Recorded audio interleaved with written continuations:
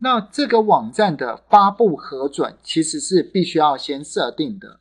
那设定的方式呢，是透过呃，针对针对我们要进行，就是说哪一个网页或者是整个网站的呃网页内容都可以去做设定。好，例如说在这个地方，我们要我们的目标就是说存回取出，不去做核准动作，但是只有发布才进行核准这个动作哦。那设定方式就是，嗯。到文件库，然后设定里面有一个工作流程设定，这这呃再来点新增工作流程，主要就是透过工作流程，然后这里就是一个核准。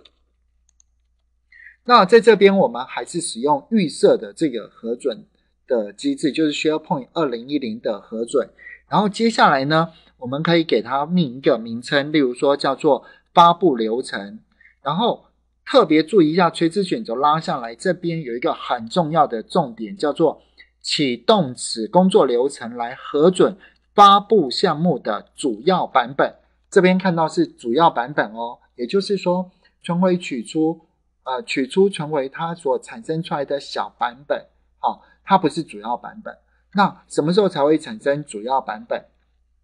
例如说，当我今天是直接透过编辑、储存。OK，这就会产生主要版本。然后这个时候呢，这个时候这份文件呐，呃，符合了主要版本的变更，然后它就会进入到这个签合流程。然后接下来点选下一步，呃，下一页。然后接下来我们再把看说是要指派，就是这个网页网站那个网页发布。的一个管理者是谁，我们就指派给他，然后最后点选储存。